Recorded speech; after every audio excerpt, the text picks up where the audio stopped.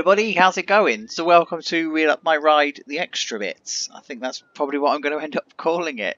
Um, I wanted to do a top tips video, a bit of a tutorial video based on the questions that you've been having since I've started to do Real Up My Ride. And you'll notice that I'm not in a Real Up My Ride episode right now, I'm actually in Arbor Valley, uh, because there were also a couple of questions that came out of that episode that I did for PausLey. So I wanted to um, sort of bring it all together and just answer the most frequently asked questions from all of those episodes in one video so that you can see how things are put together and you can see my thought process and my building style and, and my experience as well of, of, running it. So for those of you that don't know me, you've never met me before, um, I work for a theme park company. We've got worldwide attractions around the world. So I don't I don't actually physically do the designing. I'm not an Imagineer or a designer or an engineer in any capacity, but I work very closely with the people that do. So for example, I see all of their training material and I publish all of their training material. And because I'm nosy, I read it all. Um, I see all of the planning documents. I don't see them in advance, so don't ask me for any secrets. I don't know anything like that. Um, but I, I see the planning documents and I can digest the planning documents and then I get to see site layouts. And when we go and visit a site, we, we get to go on tours so we can book to go and see certain things. And because the company I work for is so open and so well connected with each other, they will talk to you about anything. So I've got to be really careful with what I do and don't tell you in the public domain. Like obviously I can't give you detailed information about things because they're all company sensitive. But what it does do is it affords me the ability to go off and speak to other companies and go off and speak to other people that I can that I can get information from and then translate that into a generic package. And this is where Real Up My Ride has come from. I use all of the generic information that I've got from multiple sources inside and outside of the company, make it generic and, and anonymous, and bring it all together and play Planet Coaster. And I've been playing Planet Coaster since the day it released as alpha, um, and I've clocked up well over 4,000 hours for my sins.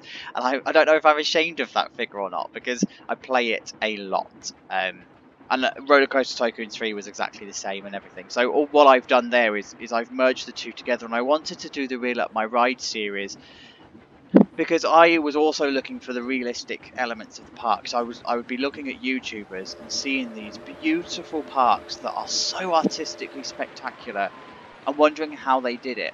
And it's great because you you can see how they put it together from an artistic perspective, but because I'm nosy and because I'm inquisitive, I wanted to know the reasons why things were in the areas that they were, why they were being done in the way that they were. I could see that they looked like that, but I didn't know why.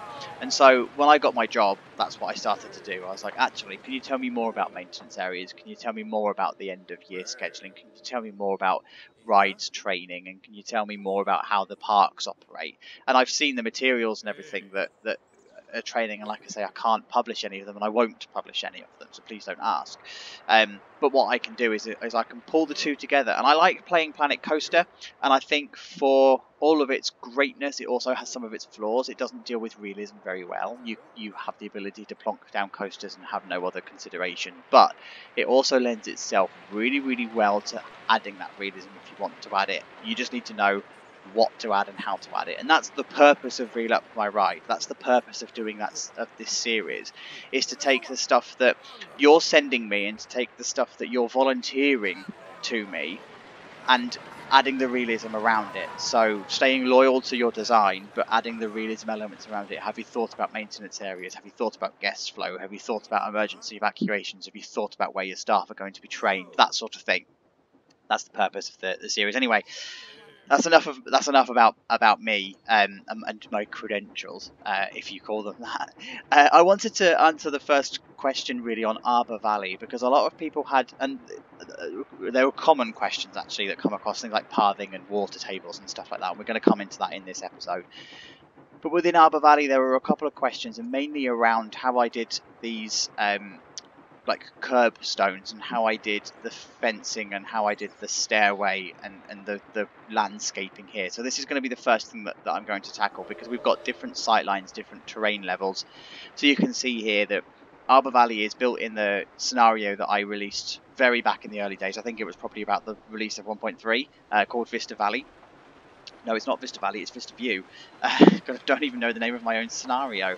Uh, Vista View, um, and it's on the side of a hill essentially is, is this is this scenario so you can see that this is the put together. It was edited really nicely by PausLey for his series that, that he's doing, so I'm playing this version of his editing. Um, but the layout remains the same. It's just this big circle path around a nature reserve, and it goes up a really steep hill, and everything's hidden behind it. The episode, by the way, on me building this is, is available if you if you want to go and check that out. I'll link it in the description and stuff. And uh, yeah, so I, have been dealing with this this idea of terrain differences, and I wanted to build something on the side of the hill, and I don't like building on flat land if I can help it. So what I did was I continued the path around this lower level, and then I raised the terrain slightly um, to have this effect. And I'm going to show you how to do this in, in a later part of the episode when, when we look at uh, Sunshine Park, I think it is, that we go into. Um, but I wanted to show you the, the landscaping that, that I use. So here you can see there's a flower bed, and it looks like it's autosave. Um, it looks like it's got it's coming out and it's on a level, and this is just a trick of the a trick of the light. There's nothing really special here. If I move these paths out, uh, these flowers out of the way, you can see that the terrain drops down to the level of the path. And actually these flowers are a little bit floating, so I've, I've sort of had to do a bit of trickery here to make this work properly. Um, but it creates this nice little level effect. I could also use the um, the actual dirt that we've got in the nature area. So these planters, I could lay them down and make it sort of like official as a, as a plant area. And sometimes I do that if I know that some of the dirt is going to be exposed. Uh, but I didn't want to do that here. I wanted it to be a full, a full-on flower bed uh, for this sort of aspect. And then the other thing that, um, that I've got is the stairs. So I tend to do the stairs by laying down some kind of long flat piece. So in this instance it's this concrete pillar that I've just laid down. Um, so I just take the, the building, just go to the pillars, find your concrete pillar, like this, and then you use the advanced move and you snap it and then just roll it down. And then you just stack them one on top of the other, and you just create these fake stairs, these full stairs, and then you just recolor them, and then and then away you go. And then the other thing that I that I like doing is is lining off all of my paths. So I, I like to take away the in-game curbs and I like to add my own because you can you can do freedom things like this. You can line your paths with fences, you can line them with rocks, and then you can line them with your own curbstone. So in this instance, I use the um, I just use the, the windowsills that you find in the city set from Ghostbusters pack and colour them as you, as you will. I mean, I've left this to default colour, but in other parks I've done it. I tend to use the grey to make it look a bit more concretey, um, and it just lines them off quite nicely. But it also means that if you did want a formal flower bed where it's it's flat to a level, then you you can also you can also do that. But they're thin enough to be durable, and you can sort of like they're versatile enough to put along your path edges and, and have quite effective. And then you just vary your vegetation along here. So I use this in Colwell Wonderland actually. I, have definitely stolen this. You've got all of these hedges that are along the way that create a sight line and then you just fill it out in the middle with different flowers and different textures of, of flowers. Mike Sheets will tell you that this is all very much very much wrong and if he's ever going to watch one of these videos I'd love to know what he would do differently because I don't know the first thing about gardening. I just put things down because they look good, but the experts would be the likes of Mike that would see it and go, "You've done that completely wrong. This is how you should do it." so, um, so anyway, that that sort of like covers the first the first bit. I wanted to do uh, an an Arbor Valley one as well, um, but should, let's actually move on and let's let's move on to one of the other episodes and see what it uh, see what comes up. Here we go. I think the most frequently asked question I get from the first five episodes is how I end up with the paths and the plazas being so wide and, and sitting how they do. And so I thought I'd jump back into Sunshine Park from episode one to show you how I do how I do this because the principle is exactly the same across all of the five episodes. So, if you try and change the texture of the path, you can see that you, you sort of highlight areas where this texture would change. And this kind of gives away the secret a little bit here, in the sense that they are just pads of plazas that I've pulled together and created in different angles and different shapes and different variations. And then you just join them with normal paths. And then you end up having this massive wide path area.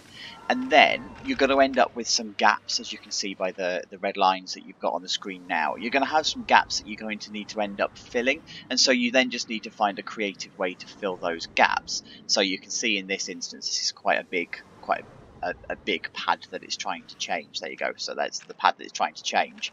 And then underneath that, you've just got the, the red markings where the gaps in the path are.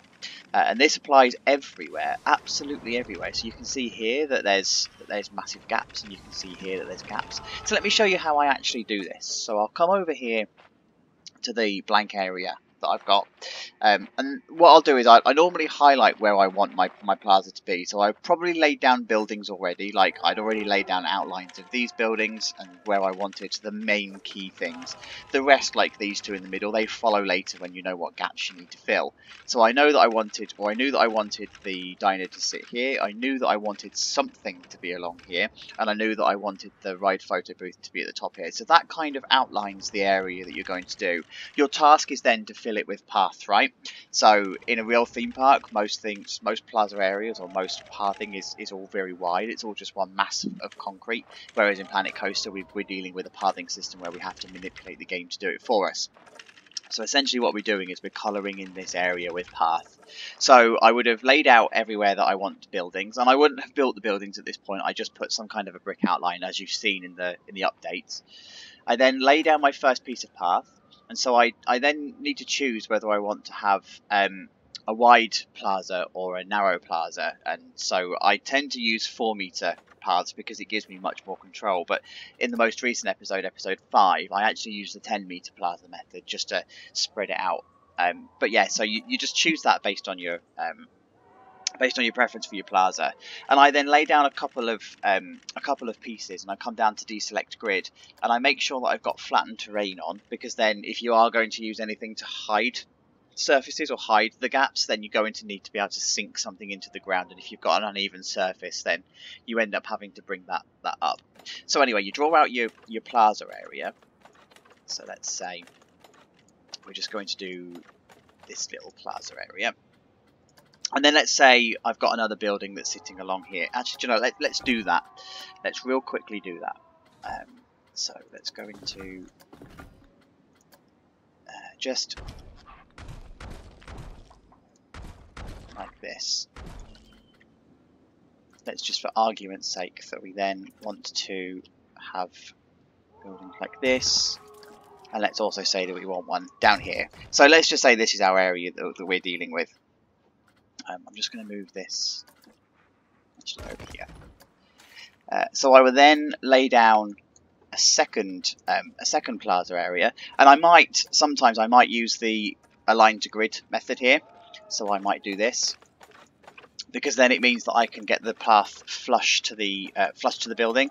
But be careful if you're going to use this method because if you're going to have shops in this building, you might not have enough gap here for the game to generate the path it needs for the shop. So you might consider actually just just doing it freehand instead. And then let's say we're going to have another building here. So I'll do the same method again. Um, but this time, I'm not going to align it to grid. I'll show you the, the method of not aligning it. And the key to this is that you don't, um, you, you're not, you don't tie yourself to where your buildings are going to be. You, you remain fluid. So like if this building is too far up, then you, you have the flexibility to move it down. And because you've not built anything and, and you haven't committed to anything, you're good, you're good to go in that instance. Um, so I'll just remove the flatten of the terrain and just add this bit here. So now we've got three plaza areas that we can play with. Now what sometimes what I'll then do is if I know that I want this to be the leading path, I'll continue the plaza area out this way so that I've now got a leading path that way. And then I'll also do the same up here as well. So if I say that this is my leading path off this way, like so, and then starting to, to create almost like blocks of plaza areas where I know that I want things to be. And what I then do is I take the um, the normal path and I now just join it up wherever the game will allow me to do it. So let's say, for example, I go there. So I want it to join up there. Um, I know I definitely want this one up here to join. I definitely want something along here to join. Now, this is where we have to do a bit of jiggery pokery. We have to be clever with, with the game because you can see that you're not going to get the exact result that you want. So you sort of have to be flexible enough to work with the game. And if you, if like in this instance here, you can see it's just not going to let you do any of it. Then try using a different size pathway instead, because that might let you do it. And then we just go uh, this way, and then let's say we're going to go this way.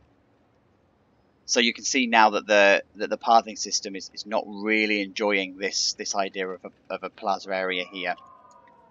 So let's go smaller, and it will, or it might let you do.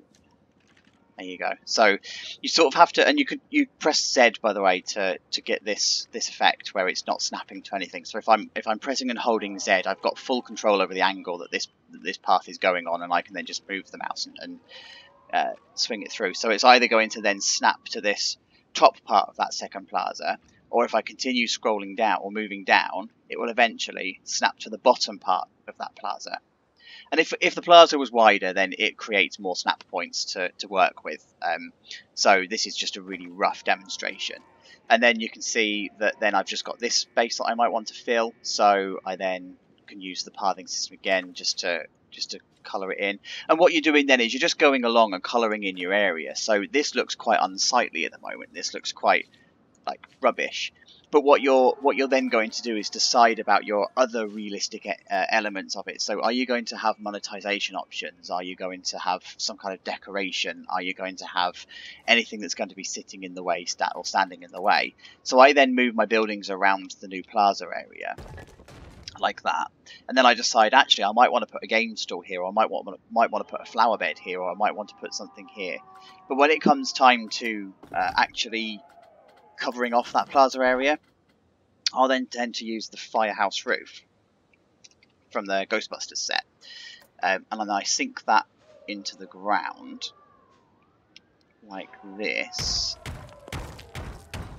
And then I just create a uh, create an area, and then I highlight it, duplicate it, and then assuming that this plaza is completely flat, you then start to colour in that area. And so what you end up having at the end of it is this ability to have this, and I'm just going to raise this up so it's exaggerated because I know that I didn't flatten this off to the same level.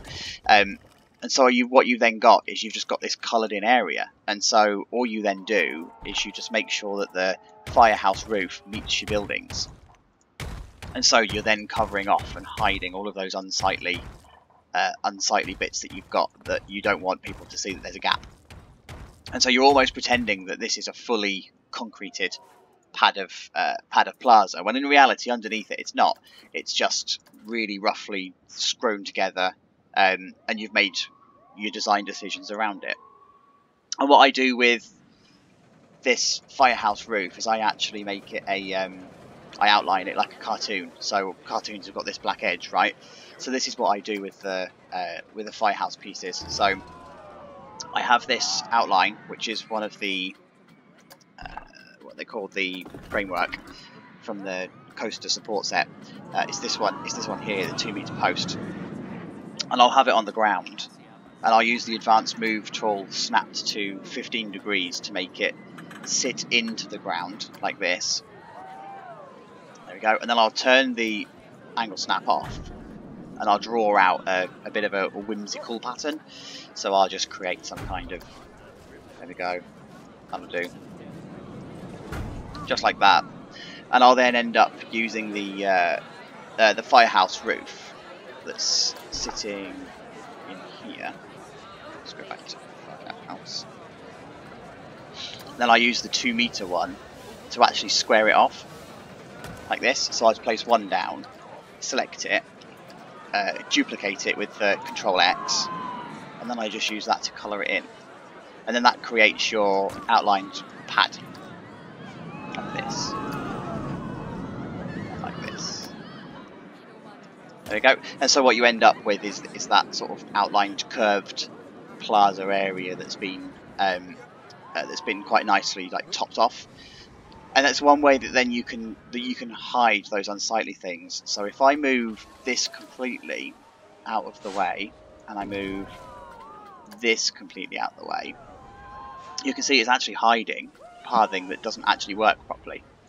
Um, but it's got a lot of things that have gone into it to actually hide it. So you've got your, your firehouse uh, roof or your concrete padding, whichever you choose, to hide one part. You've got the wood to hide the, the next part to break it up slightly. You've got your building which sits on top of it, but underneath it, look, it's just this massive pad of green.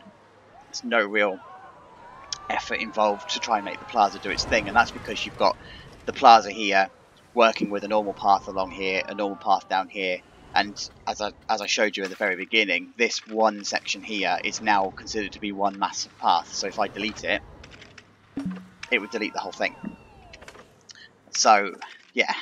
The other thing that then I do uh, sometimes is this element of... Uh, come over, I went over there too soon.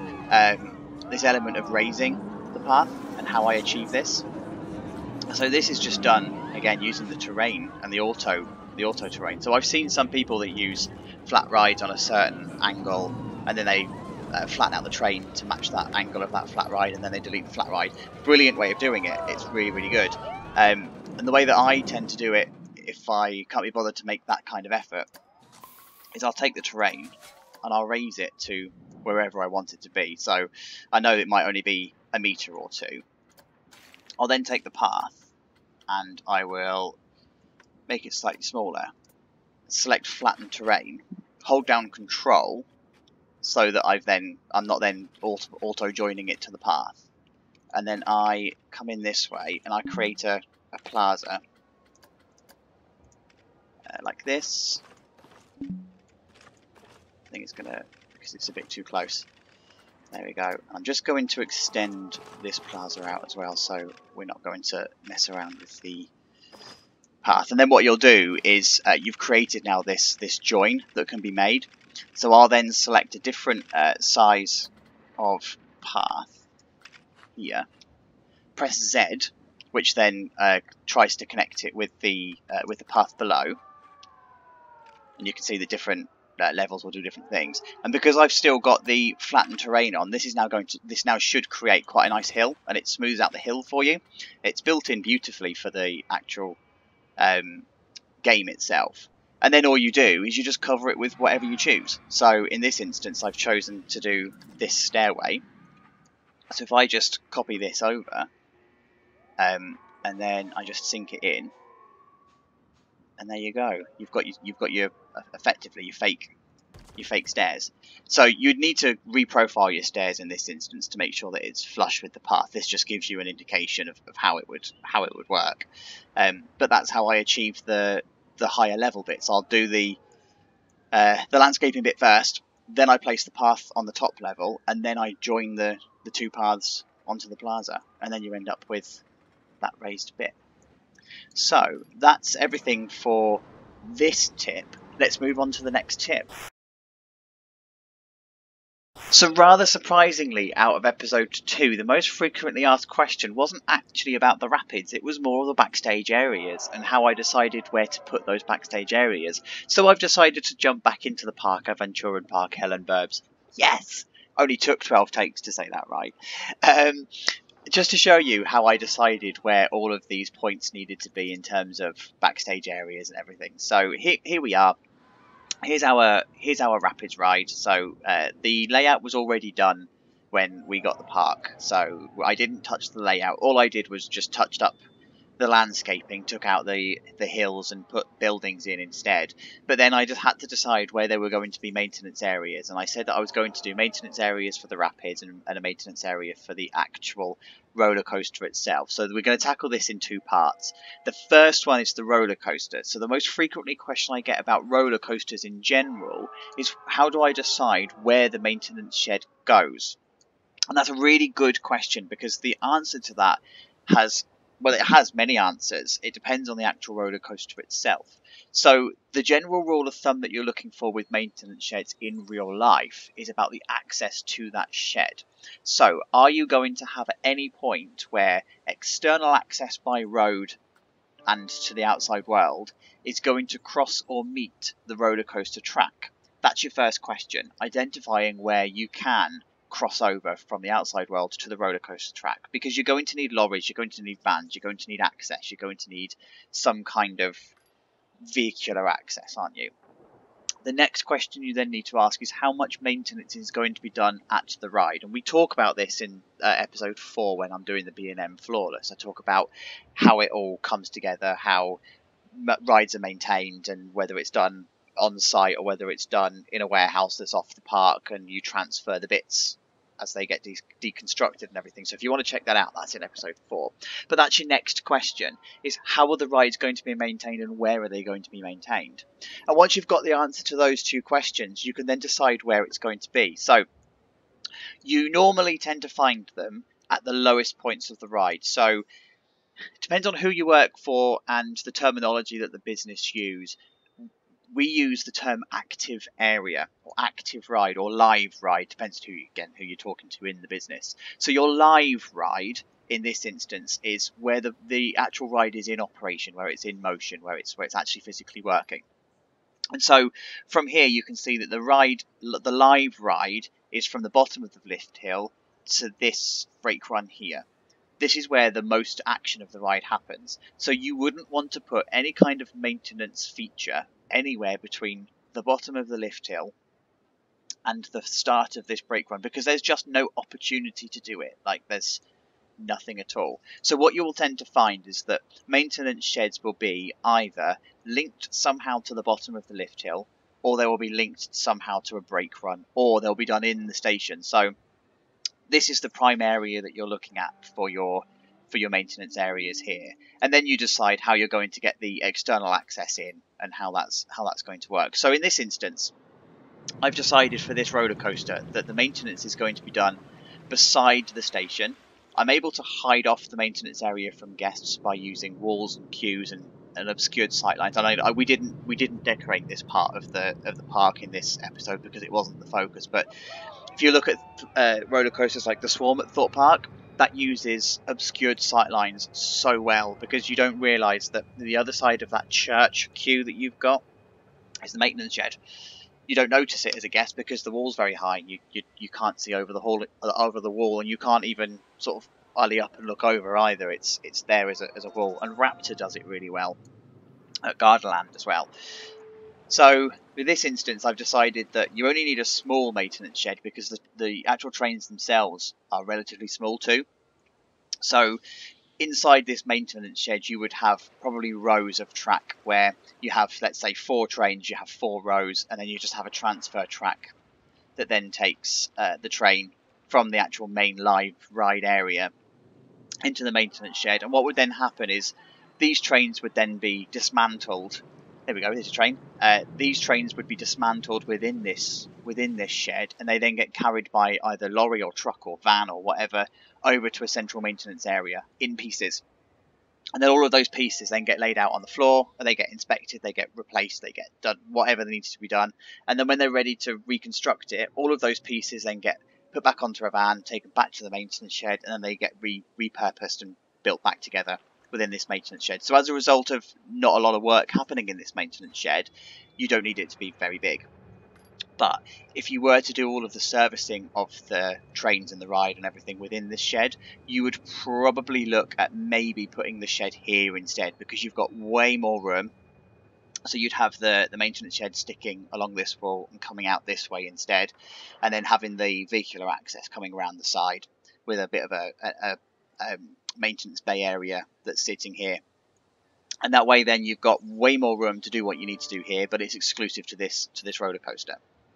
The other place that you could look at doing it if you were struggling for space would be this top uh, this top run here. So you could, if you had the facilities and if this terrain was different and everything, you could then put it up at the top here so that your transfer track would be at this brake run.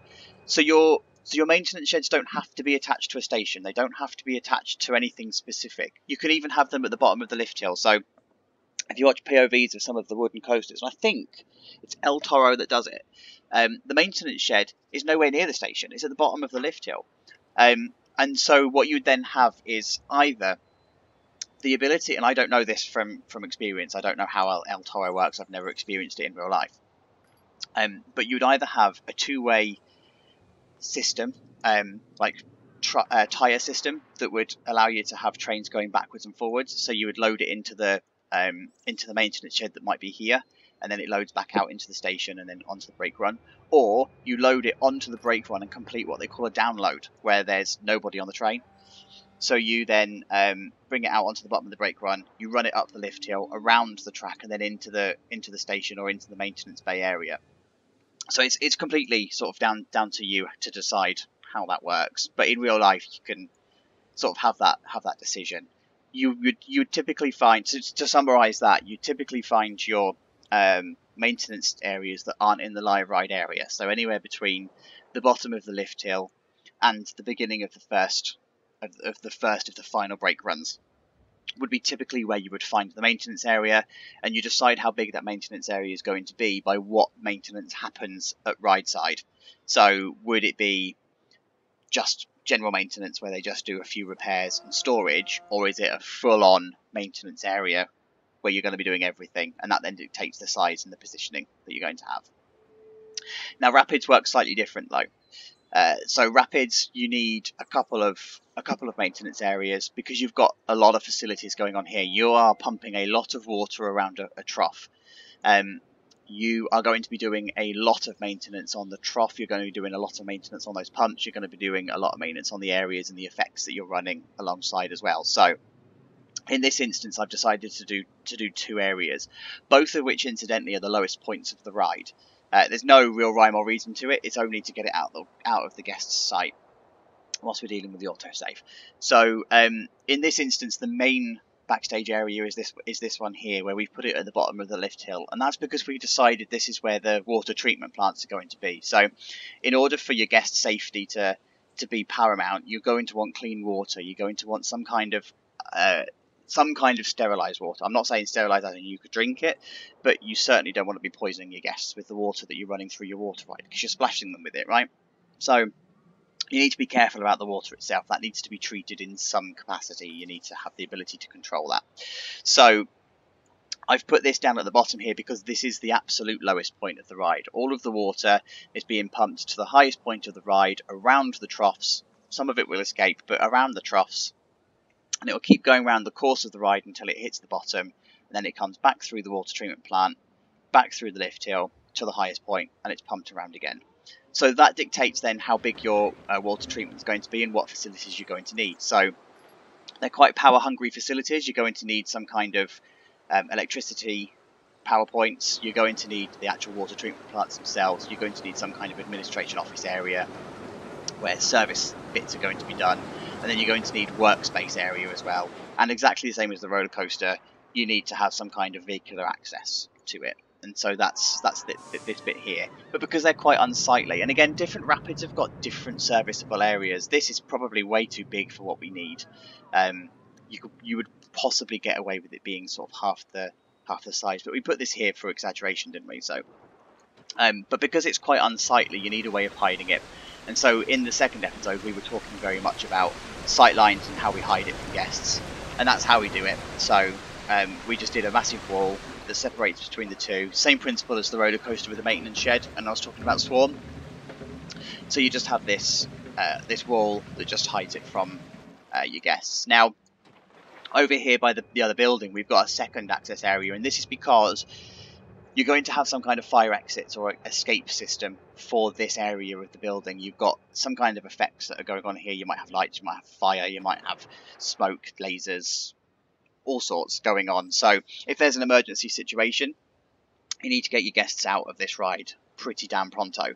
So um, what we're doing here is we're we're exiting them either from the lowest point of the ride along here, or or from within the building along escape channels that we've put in and then they would come out of this service building. But because you've got so many effects that can go wrong in here, you're going to have pipes that service uh, water, you might have uh, gas lines, you might have electricity cables for your lights, you might have smoke machines, and they have power and liquid that needs refueling and all sorts. So you have a, a smaller maintenance area just off the just off the back of the building here.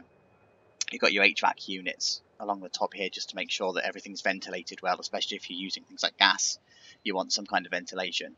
And so here you've just got this this maintenance area that sits at the back. Um, now, in an ideal world, you'd probably want to join the two maintenance areas, so you'd have a road that runs around the back here.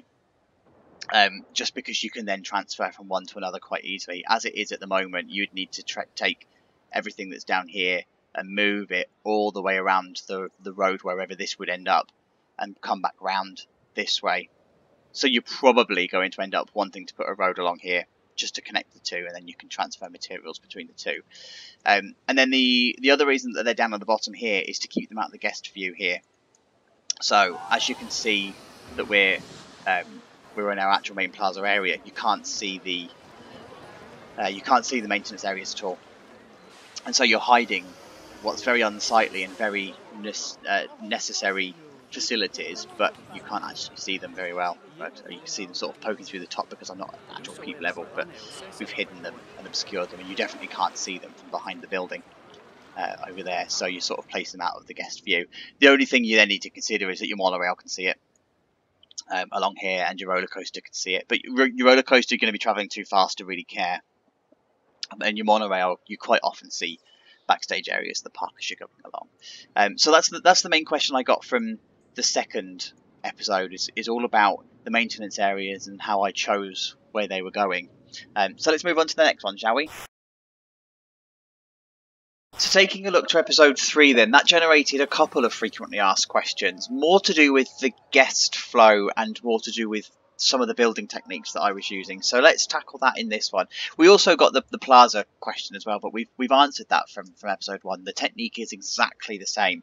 As you saw with the updates, I placed the buildings and then I just coloured in the, the bit in the middle with, with path and then did the decoration. So principle remains exactly the same. But the the biggest question that we got when we were talking about guest flow is how we manage it and how we keep the guests safe. So this is all to do with signage and it's all to do with planning your areas appropriately. So as we already spoke about in the episode, you need to have the ability to separate guests as quickly as possible, keep them as far away from each other as possible, whilst also managing managing those crowds. And so, remembering that you've got two types of uh, guests, you're going to have your regulars, they know where they want to go. You're going to have your non-frequent regulars who may not know what they want to do. They may not want, to, they may not know what where they want to go and so, and so they're going to get in the way. Um, and so what you do is, is you plan for that for that accordingly. You have to always be assessing your crowds and then assessing whether the setup that you've got is appropriate for that for that crowd.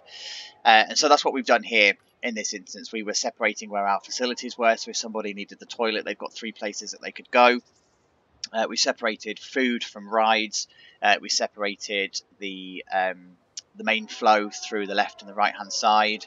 Uh, and then we also had these rides at the top that we separated with a with a plaza. So what we were doing here was creating as many opportunities as we possibly could to, to split out those guests and split everything out. But the one thing we didn't really touch on, and we said it quite a lot about emergencies, and we didn't really touch on how we actually deal with those emergencies and how we keep the guests safe. So we already know the principle of um, changing a guest behaviour uh, based on signage and based on what we do with, with the area, and then you uh, alter the area around it to suit your guest behavior. So, for example, this water pad here, is it deep water? Therefore, do you put fences around to keep them safe? Do you do the risk assessment, say get rid of the water?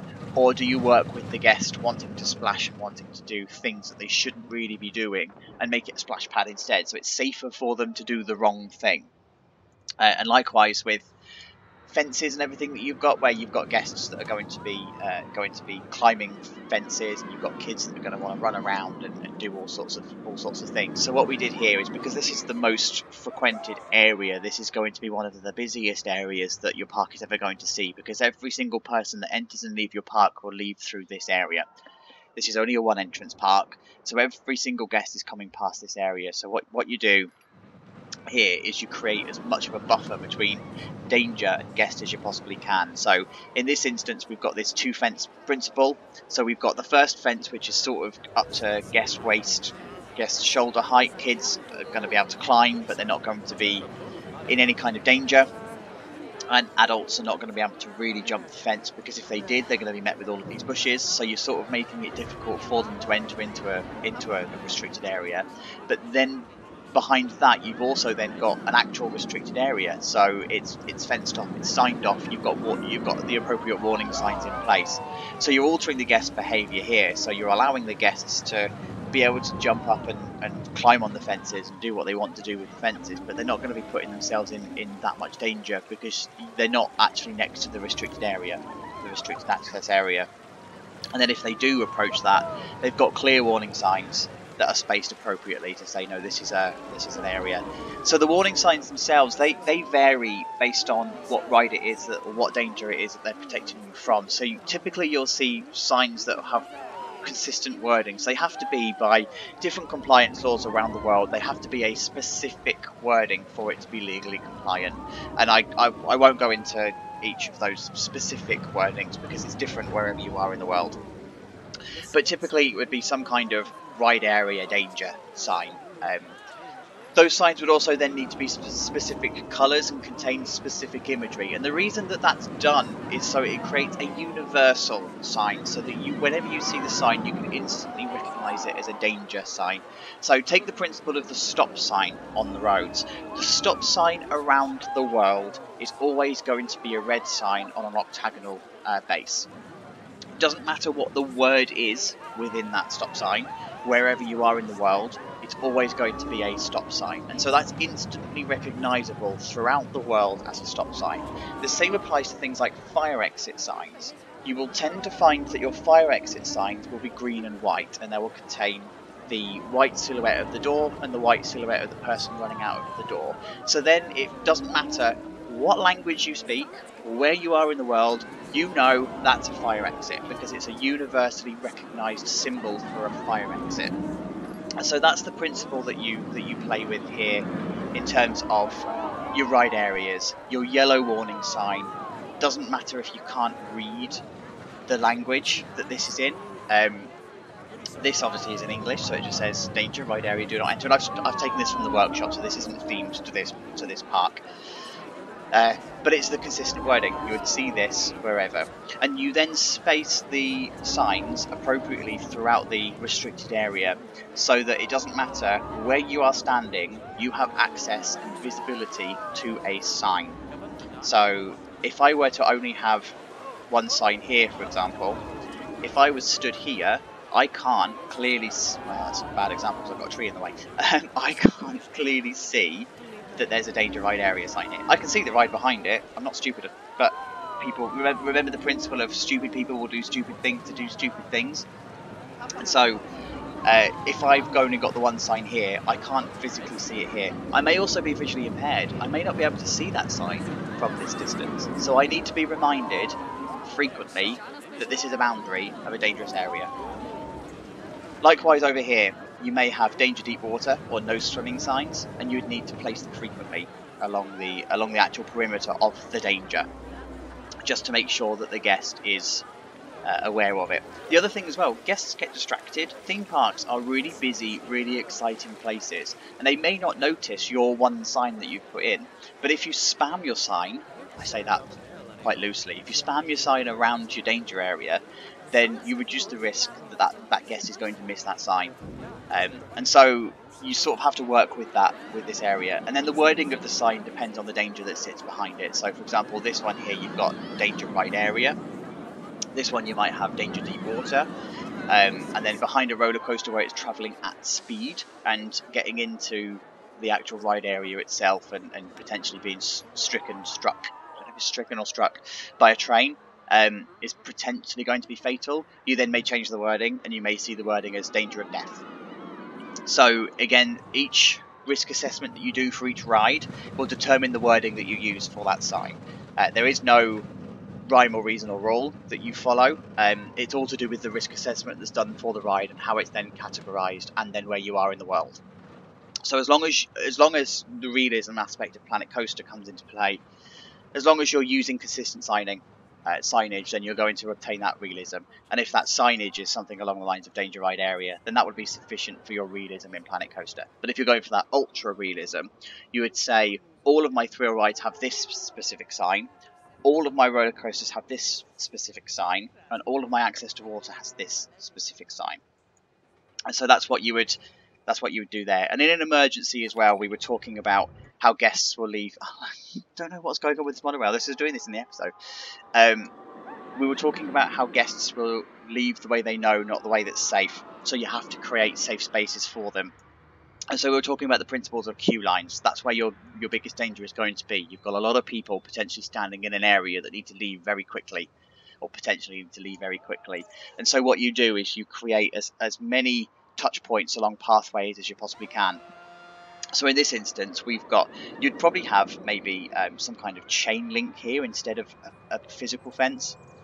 But you've got the ability to have these guests escape, escape very quickly from uh, the queue line by coming either down here or if it was if it was more safe to do so through the ride area and out of the out of the exit.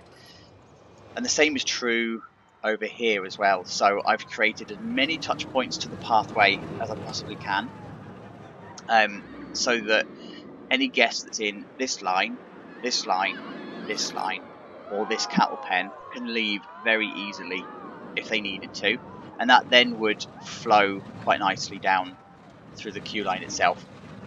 Same is true that you'd probably put some kind of artificial pathway or you would have some kind of ability to exit, escape for this little cattle pen that we've got in our um, pagoda as well. Whether that's into another plaza area or what, I don't know. That's just a design decision that would need to be made by the park. But you'd want to have an evacuation as much as possible. And the length of the queue completely depends on the ride. So when you're designing and building your rides, you will automatically, as part of that process, you'll decide what the what the guest draw is, what the expected guest draw is of that ride. So when you submit all of your plan information in the UK, you have to give a kind of an indication of how many guests you're expecting to attract as a result of that ride. You'll then work out things like the ride's throughput. Um, so if it's a roller coaster, you'd be probably looking at upwards of a thousand for a typical roller coaster. Your good roller coasters would be 1400 people per hour. Um, if you're a smaller park, you might be dealing with maybe six, eight hundred people per hour. But as soon as you then compare your um, your flow, your uh, people per hour with the number of guests you're aiming to attract. And you do a comparison of an average queue, and then you say, right, so on average, we would expect the queue for this ride in the first three years to be two hours, to be three hours. And that's consistent with the other rides that we've launched up until this point. That equates to this number of people.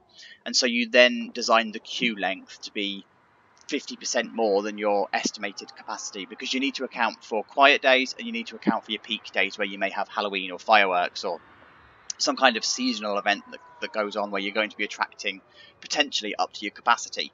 So you need to sort of have a median and go, on average, we reckon the queue for the first three years is going to be about two hours, and that equates to this number of people, and therefore each person represents this amount of space, and this is the amount of queue line that we then need to have.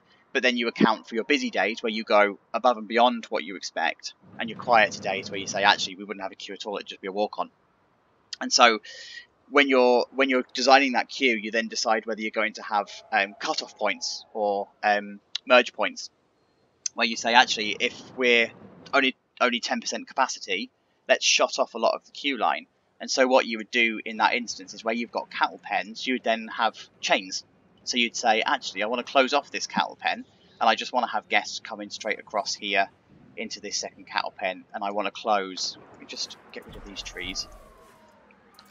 Um, so I want to close all of this cattle pen because it's not needed. Um, so I can just bring guests down this way. And that's another way that you can manage safety because if anything happens whilst this is empty, then your guests are all already um, gathered down in this area here. And they can escape quite easily.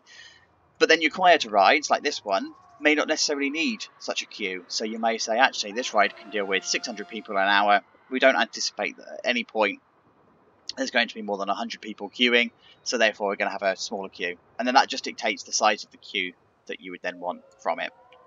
Your roller coasters will be typically longer, um, and then you decide how that is going to interact with your ride. So do you have the space to spread it around and create a feature of it, or do you want to squeeze as much of the queue as you possibly can into one area uh, and cattle pen it?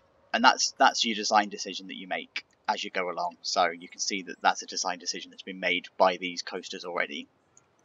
Um, and then this one here is the same. It sort of feeds around, but it also cattle pens.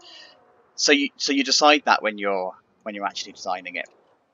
And then the other bit then is just the design techniques that I did here. So uh, just to pull this apart, I'm going to do this to do this really quickly because I go into quite a lot of detail in the video, but um, I just want to make sure that I cover it off because it is a frequently asked question. So if I pull this, that's a light, uh, pull this one out. So all this is is just the shop front.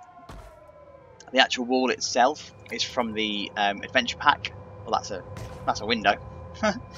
Um, so the wall itself is from the adventure pack. It's just turned the other way around and just coloured. Um, then I've got a window that creates the actual window effect. I've then got the shop front that you find that just sunk into the wall. Um, I've put a light on the top here from the haunted pack. Um, this that creates the pad that the light is sitting on is actually the bracket for uh, the bracket for the um, TV screens. And then you've got this, which is your wooden beam that you find in your in your beam set. This is just an arch shape, but there's four of them. So they're uh, so the the front one is just one, and then the back one is four. So we do that and pull it apart. There you go. So pull that apart. Um, these are just your brick columns, so nothing nothing special there. These are arch shapes. So I'm just going to pull that outside there. So these are just your typical arch shape that you find. Uh, this is your same wood column that's along the along the roof, like that. Uh, this is to the awning. That's your adventure piece, just on a on an angle. These are your fences that you find, like that. Um, and you've just got brick the brickwork that you find in the normal, and then your roof are the same adventure pieces just turned upside down onto each other, and then copied across. So that's that's how uh, that's how that building is is put together. Uh, it's actually quite a simple setup. It just uses a lot of pieces to to do it, and it's it's using almost the windows as walls technique. It's just they're not windows; they're um, the uh, adventure pieces instead. And then the principle of the season pass. Oh, the text, by the way, is TMTK. Whoever did this, I far overuse your your stuff, and I love them. Really, really love this text. It's so good. Um, and then over here, same principle, just your, but it's slightly, bit. it's a different setup. The walls are actual walls, um, just your normal uh, painted wood pattern. Then you've got your wood beam. Then you've just got some windows. You've got your planters for from the um, what they call the fairy tale set. You've got some wall, uh, you've got some uh, doors, but this is slightly different in the sense that you've got the wall, the door sunk into the wall, like that. So uh, I've put these on different grid. So if I remove, if I take the grid down, there we go, and then just sink the back in here. So the door back in there. So that's all I've done there. Um, and I've sunk it in and made it so that it's inset. Uh, nothing else really. That these are the same design. It's the um, arch shapes, wood panel, windows. I didn't do I didn't do the inset of the windows though. They are just the windows on the uh, on the wood panel. Um, but using these beams just to hide the fact that they're sticking out, so it creates a bit of of a bay window effect. Um, and then these are Idros letters. They light up in the in, in, the night. Absolutely awesome. Love them. And then your entrance area, exactly the same principle. I wanted to keep the same design, so the pillars are exactly the same, just recoloured. The roof is exactly the same as the ticket booth, just slightly copied, copied slightly differently. Same principle with the uh, uh, with the actual um, pillar and then I didn't put any kind of turnstile in here because of the way that the park is set up. I could have edited the park and moved the park entrances and had turnstiles in here, but this was representative enough. So anyway, that's enough talking for this for this episode uh, or for this question. So that's uh, episode three and the frequently asked questions. So let's move on. So we're back in the Alpha Park then for episode four, which was the B&M that I had that I tore down, started again, and then reprofiled completely. And the most frequently asked question that I get about this coaster is how I did the inversions and also about the pacing of the ride as well. So I know that we spoke about it in the updates itself, but I thought I'd go into a little bit more detail with the, the pacing of the ride. So when you're designing a coaster, and remember I'm not an engineer, um, I can only go by the anecdotal stories that I get told by the engineers that, that have designed rides and by the design documents and specifications and everything that, that I've seen. And um, when you're designing a coaster, you want your guests to go through a certain experience. So a G-force would feel the same in terms of on the body, but it, you experience it different differently depending on the inversion and everything that you go through. And you've essentially got three types of G-forces to account for. You've got your lateral G-forces that force you side to side. You've got your negative G-forces that are your weightlessness. This is your floater air time, your ejector air time. And you've got your positive G-forces that make you feel heavier than you actually are. This is your drag that you have. And you tend to find your uh, positive g-forces at the bottom of drops where things level out and go start going back up. Your negative g-forces will be the ones where you go over the top of a hill, and your lateral g-forces are the ones where it forces you side to side. And so you want to control how your guests are interacting with those g-forces because that's quite that's quite an important thing. And so in this coaster, I've done that with the pacing, and I've looked at how the G forces are going to be affecting, and these are the these are the stats. I mean, in real life, you, your lateral G forces might be a bit too strong, um, so I just need to find out where my strongest lateral G forces are and, and correct that. But these are relatively okay for real life stats if, if that's what you are if that's what you were looking for. And in terms of pacing, what you want to do is make sure that the G forces that you're experiencing throughout your inversions are consistent throughout, so that uh, you're not putting too much stress on the on the body, and then you also want to decide whether you're going to give your, your guests a break from the constant onslaught of G forces by using things like bends and twists and turns and everything, uh, so that it doesn't become repetitive. Like inversion after inversion after inversion becomes repetitive. Some people love it, like the, the Smiler at Alton Towers. Some people love being thrown upside down 14 times, and other people hate it because you get thrown upside down 14 times, and that's down to your own personal preference. And so designers of roller coasters need to take this into account when they're designing a ride. It has to be effective.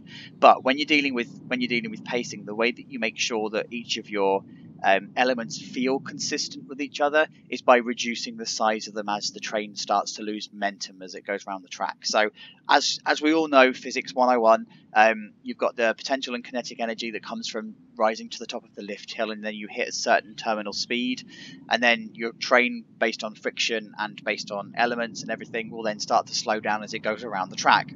So you need to account for that when you're dealing with your reversion. So you can see his prime example here, and I did this deliberately, that this Immelmann that I've got here is smaller than the Immelmann that I've got here, and that's because the train, by the time it hits this last part of the, the track, uh, is already going to be slowing down, but it still needs to feel very similar to the Immelmann that was here.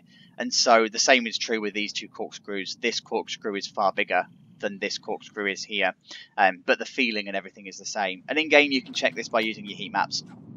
So you can check your lateral g-forces. Um, I just go previous data, and you can check where like, you can see that everything is pretty consistent with each other. You can check your vertical g-forces. So at the bottom of this hill is relatively similar to the bottom of this hill. It's relatively similar to the bottom of this hill. So you can see that and at the bottom of the the Immelmann here. So you're hitting around about the same forces every single time, and that creates a bit of comfort amongst discomfort for your riders. So G-forces are going to be uncomfortable for your rider, but that's why we do it, right? That's why we love the thrill of it. But you also want to make it as comfortable as you possibly can for them when they're doing it. It's just auto-save. Um, so yeah, you want to make the ride as comfortable as you possibly can. So pacing wise, you need to make sure that your train, when it's losing speed, is hitting your reversions at about the same consistent speed. And that involves either reducing the size of your size of your inversions, or it would involve um, oh, that was a long autosave. It'll either uh, reduce the size of your inversions or reduce the height of your inversions, so that you can see this one actually ends up. This is the lowest point of the ride, whereas before this would have been the lowest lowest point of the ride. So you sort of work with you work with what you get what you get given. And in terms of how I actually did the inversions themselves, relatively uh, simple. So I use the four meter method, and people, it sort of divides people. It's a bit of a marmite for those that know marmite. It's a bit of a marmite thing. You either love it or you hate it.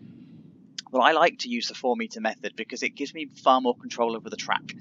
Um, what it does do though is it creates a bit of weirdness when it comes to trying to do things like Immelmann's. So sometimes you might want to consider using a slightly different method, um, but the principle remains exactly the same. So for the um, for the actual zero G roll here, it's got heartline on it. So um, I go up in steps, I snap it to an angle and go up in steps and then smooth it out.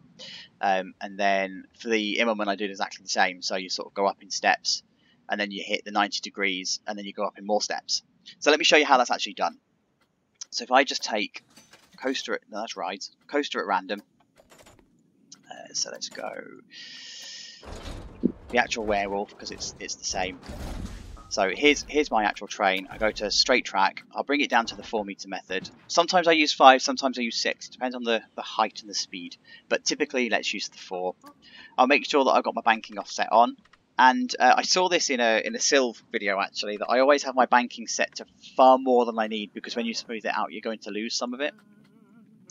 Um, and so if I'm doing a barrel roll, I will just literally go through the barrel roll. So 45, 90, 135, 180, and then you just you just reverse the process. So 135, 90, 45, 0, like that. And so again, you, you can change the, the um, steps that you're using if you want to make them greater or shorter depending on the, the size of the inversion that you're that you're looking at doing. But ultimately what you're looking for is this S. If you've got the S, you know that you've got a good a good inversion. And then when you bring it down to sightline, the idea is that your heart or your guest heart is supposed to remain in exactly the same place as the train is going around the track. So the heart should always be in this dead center. Um, and then you can do it with heads, you can do it with feet if, if you've got different different roller coaster as well. So zero G rolls very similar. I'll bring the track up to either 35 or 45 depending on the actual speed and, and everything that I want. And then I start from here to bring it down to 33 and then 45 on the on the roll. 22 90 11 135 flat 180 1 uh, 11 25 135 and then you just reverse the process like this. Uh, so 90, 45, and 45 and out, like that. And then flatten it off. Like that, like that. And so again, you've got exactly the same principle, just the same as the barrel roll, but this time you're zero Ging it instead, so it's on a hill to start with. You've still got that ribbon effect um, that I show that I go on about. So if you put the train there, the train the track sort of comes up and around and down, um, and then you just smooth that out. And again, you you change the the, the snapping and the length of the track depending on the coaster you're doing. So if this is if this is a coaster that's traveling at a lot of speed, you might consider doing this method but using five meters instead or six meters instead. Um, or you might consider doing it snapped to 22 degrees or however you prefer to do it. You know, it's you need to adjust it for the for the actual coaster that you're doing. But typically, I find that this works really well regardless.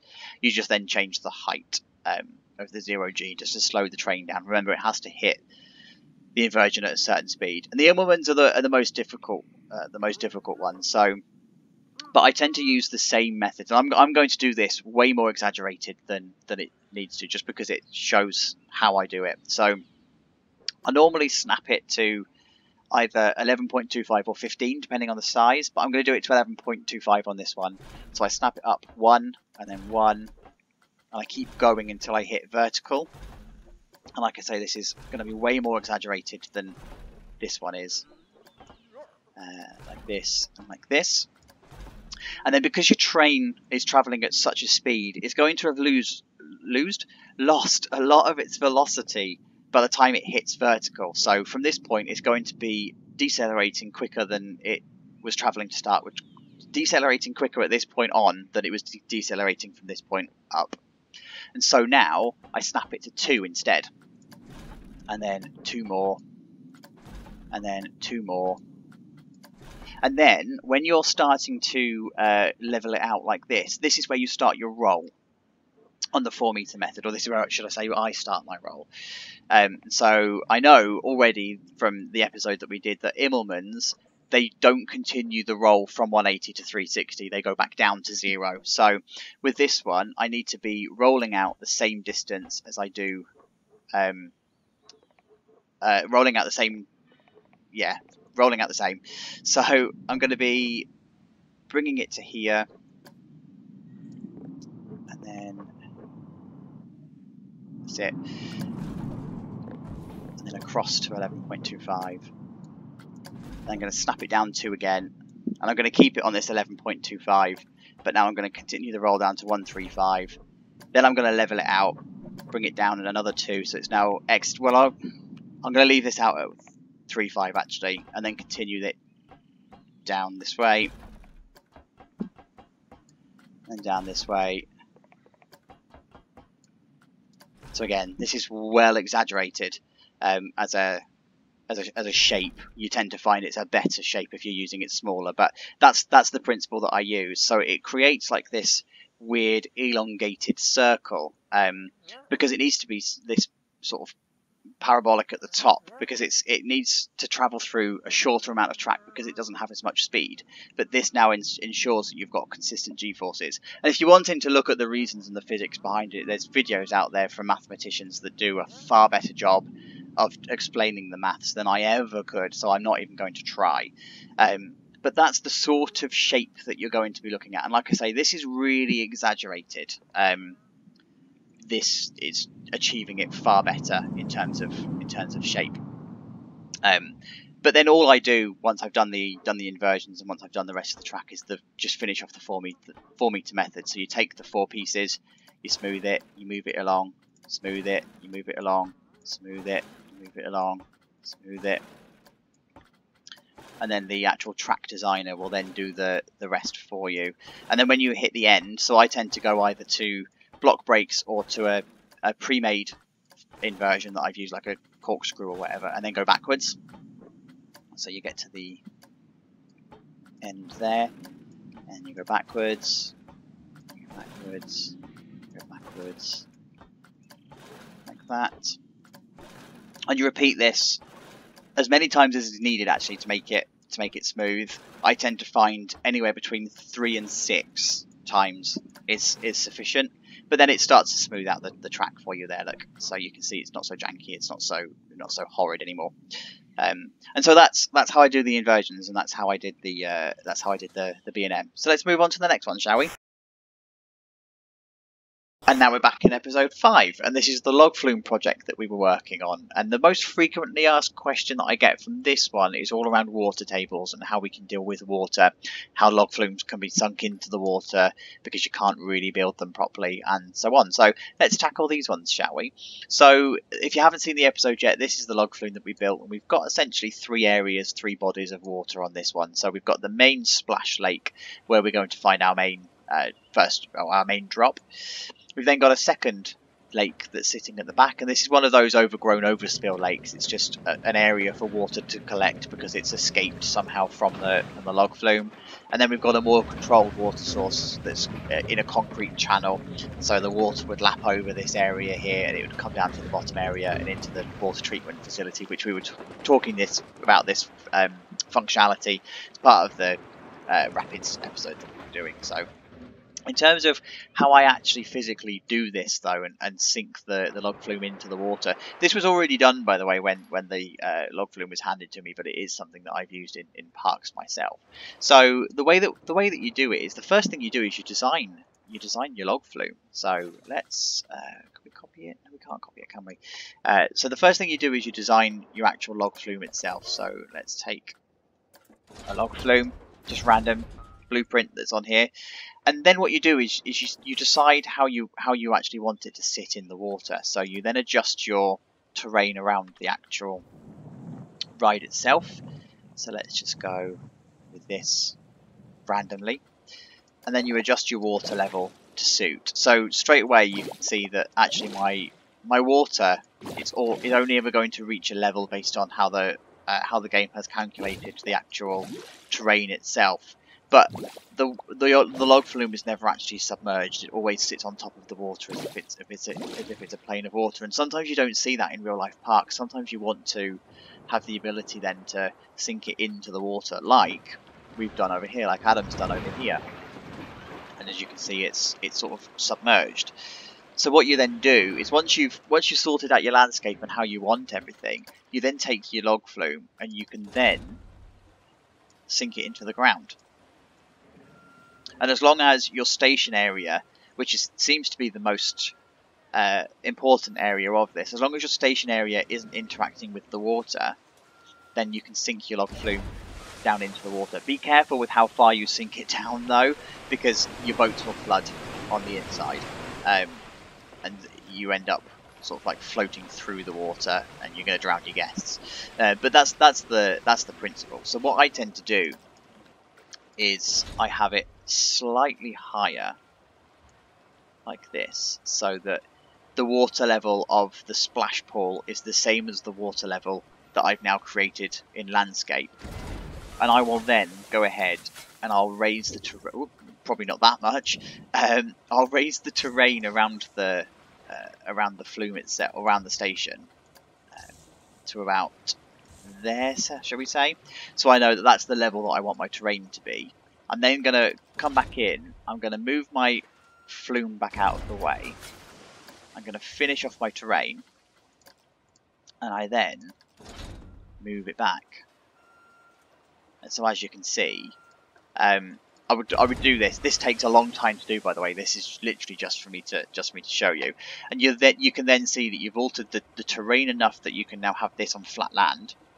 Um, this is now the water is now flush to your lower level land, but your splash pool is now sitting inside um, inside the actual pool itself. And so when Adam's designed his, he's actually designed it that there's a second lift hill that that brings the the level of the actual ride itself back up to station level. And so that's another way that, that you can deal with that. Um, you do see it on log flumes, and you sometimes you don't. Like Loggers Leap, for example, never used to do that, and nor did um, the flume at Alton Towers. But I have seen log flumes that rise back up into the station by using the same conveyor lift.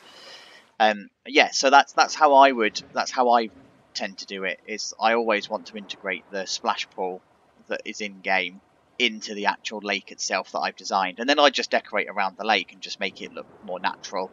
You can do that by your terrain painting, you can do it by adding foliage. And the best way of, the best, just really crudely, um, the best way of actually getting the realism though is to go and visit a lake go and see what foliage looks like around the lake, how the reeds and everything interact with the waterline, and how uh, rocks and everything go on. And actually, you'll be surprised to find that sometimes you do just have stark grass that goes into water.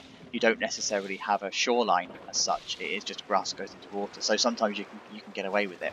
Um, and other times you might then also want to physically fence it off or physically wall it off, and so you end up having this instance where I'm just going to choose some building pieces at random, but you might choose your brick pieces or whatever, um, like this. So you create a physical wall, and then you use a flat roof piece. I just do this for contrast, so you can so you can see it. It doesn't look very nice in any way, shape, or form. Um, so there you go. So you might you might do something like that, and then you place your path along the side of whoops, along the side of your actual pool. What have I got? Yeah, let's just turn this off. And then you sink this down into here. And then you've got the illusion that you've built some kind of plaza. I mean, there's a way. There is a way that you that you can do it by using the technique in the first part of this, or from episode one. Um, but yeah, so you can give the illusion that you've created some kind of a plaza that looks out onto the splash pool, and so you you sort of force the realism. It may not be functional in the in the actual game itself, but you're forcing that that element of realism into the actual log flume itself. Um, and so that's that's what I like to do. I like to have a lot of path interaction, a lot of guest interaction with the actual flume area, particularly the splashdown area. So you might even consider putting a bridge across across here so that your guests can actually get wet. And the good, the, the nice thing is with the the log flumes themselves is the splash actually projects forward. So when the train comes down, uh, the train, the, the boat comes down, the actual drop itself, it creates a splash that throws forward. So if you put a path across the uh, across the splash zone, it looks like the splash has gone over the path, and then you can get your guests sweat. I think we've got one coming down here. So in in this instance, what I could have what I could have done is had some kind of plaza area that juts out here at just the right height, and then this splash that's just been created, and then um, sort of wash over the top of the path gives that gives that shoot the chute um, impression of a splashdown, so you then got that guest interaction there. The other question that I get quite a lot is about pools um, and fountain areas. So unlike Planet Zoo, Planet Zoo does it amazingly in the sense that you can use the, the, the barriers, um, the enclosure barriers, the glass ones particularly, are they watertight, so you can just create a really thin barrier, sink that into the ground, move the terrain around it, and then put your water in. Planet Coaster, we have to do that ever so slightly differently because there's a, a width requirement um, for the landscape that's around a water source. And I think the width requirement is three, uh, three meters.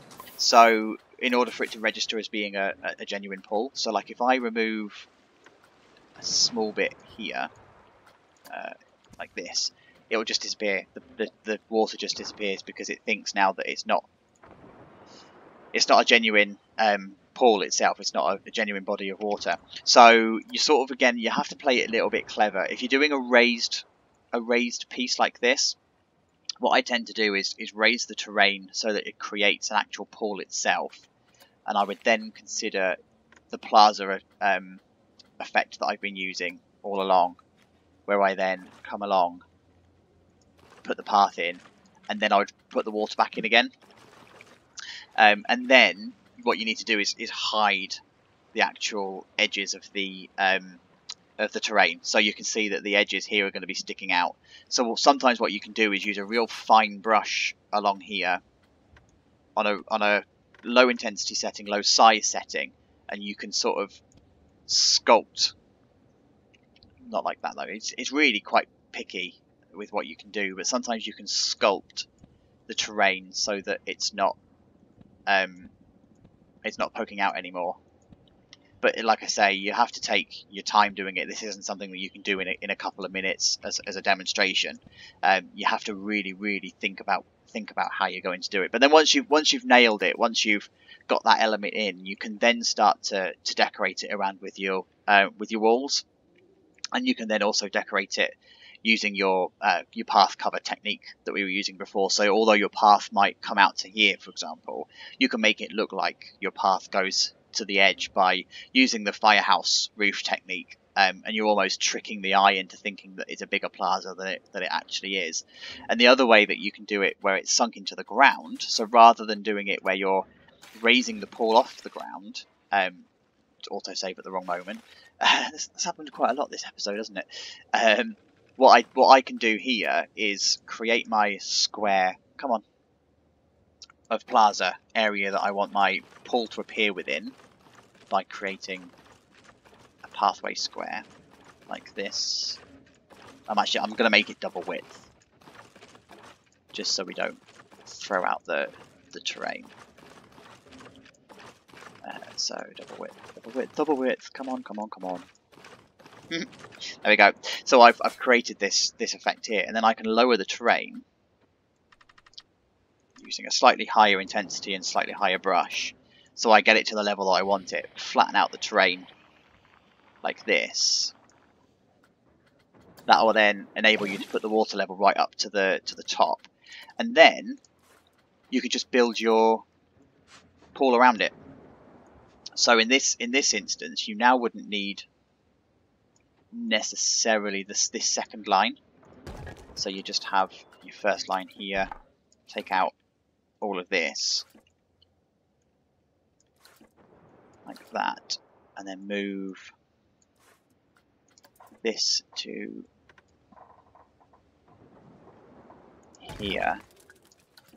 Whoops, taking out too many. uh, and then move this up one. Take out that. And then copy this on a small grid as well. Uh, I'm just going to take out those two. Like that. And then I'm going into because this is the this is the wrong way around, so it's on the on the wrong side of the grid. But there you go.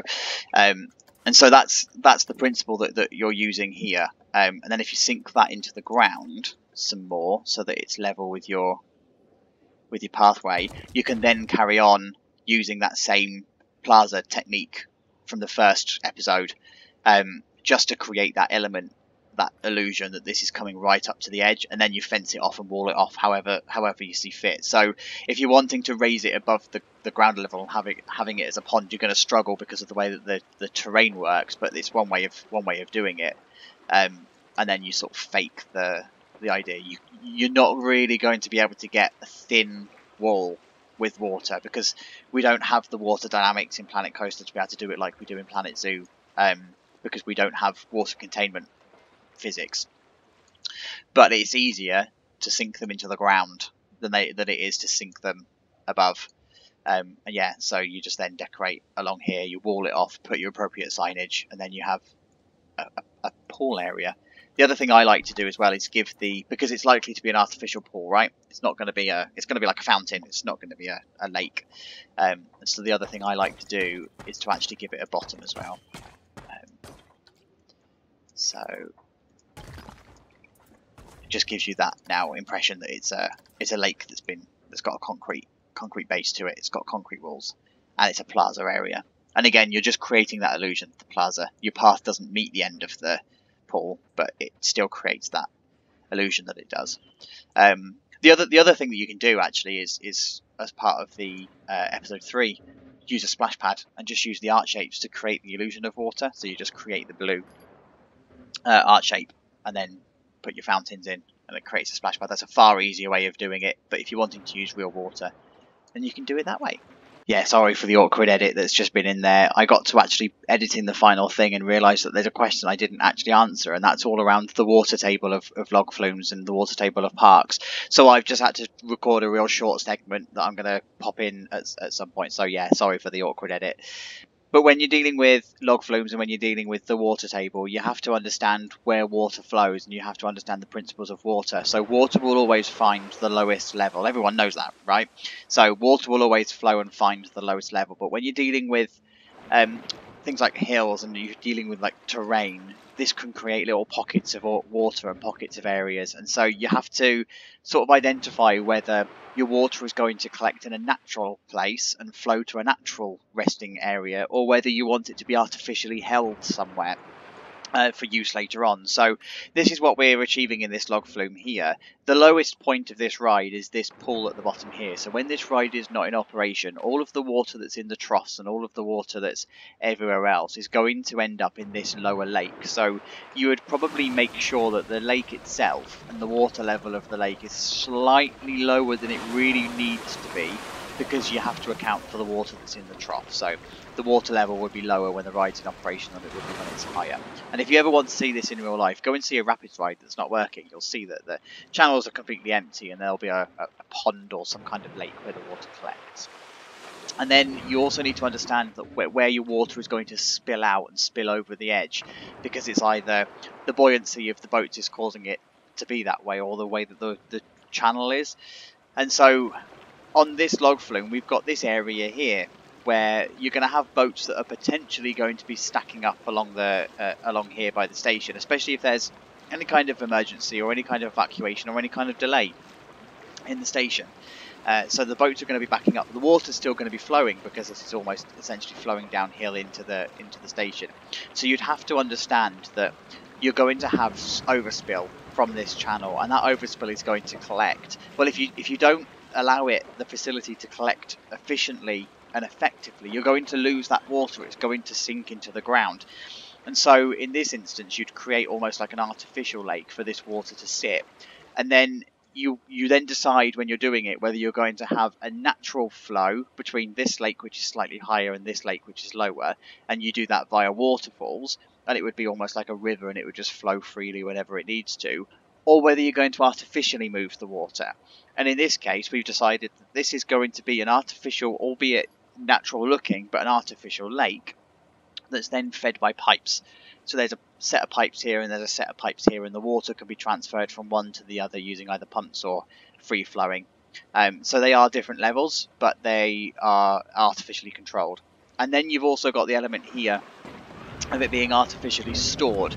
And so you use this when you're wanting to actually physically use the water, where you might want to have a bank of water to call on if there's not enough water coming down the channel. So if for any reason the water stops along here, you've still got this pool of water here uh, that can be drag dragged in through the treatment pumps and whatever, and then taken up the lift hill and then taken round the side here. And again, this is fed by artificial pipes, so the water would be pumped from this bottom lake up to this treatment area and then back this way through the through the lake as well. So when when you're dealing with the realism in terms of the lay of the land, you'd need to identify where your water is going to collect, where are your lowest points of the rides, and where are your uh, backups going to be when it comes to boats and everything. Because remember that principle of putting something in water is it's going to overflow. So you want somewhere to catch it, and if you don't have somewhere that it can efficiently be caught, then you're going to lose water to the natural water table of the uh, of the area around. So you need to find a way of, of capturing it. So anyway, I just wanted to answer that question uh, just as we were uh, editing the, the episode. So I really hope you found this episode helpful. I hope it's answered the questions that, that you've had, and I hope that the detail I've given you hasn't bored you too much, because I know this is quite a long episode and we've gone into a lot of detail with a few demonstrations and everything along the way. So I really genuinely do hope that this has helped. If I've not answered anything or you've got any additional questions, then you know what to do. Leave them in the comments below and I'll come back and I'll answer them. Um, and just like all of the other episodes, thank you so much for all of your interactions, your likes, your comments your subscriptions and everything, all of that feeds the YouTube algorithm and it and everything that you do, everything that you do feeds into that algorithm for YouTube to then go out and suggest it to other people to verify all of those actions. So the more you interact, the more it gets seen by other people and the more the channel grows. So thank you, thank you for that. But until we speak again, until episode six, I hope you all stay safe. Thank you all so much for joining me today, I'll speak to you soon. Take care now. Bye bye.